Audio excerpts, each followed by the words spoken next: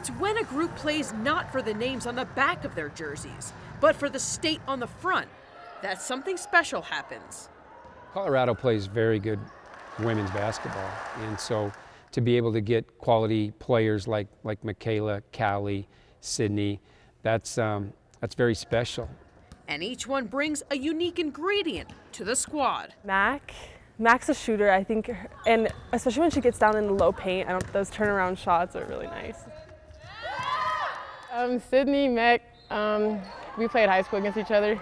She guarded me. Man, I hated when she guarded me though. She's a long defender.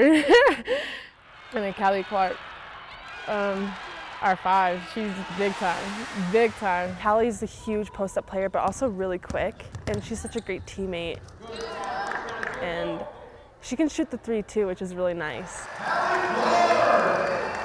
The passion and the pain started from their high school days, playing in one of the toughest leagues in Colorado. Michaela Onyenwere. Back when I can remember, you know, we've had Michaela Onyenwere, who now plays for the WNBA, like Fran Belibi, you know, now at Stanford. Francesca Belibi.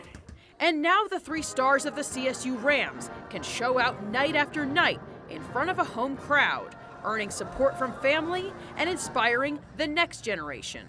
It's kind of cool to play for my state because I still have a lot of people here that support me. And It's big time actually, just being from Colorado. It's kind of like a hometown hero. I know I have people like that look up to me regardless of how many minutes I get and it brings a smile to my face just knowing that I can be there for them after the game and just a simple hug or high five can change someone's like day. From Fort Collins, Arielle Orsuto, 9 News.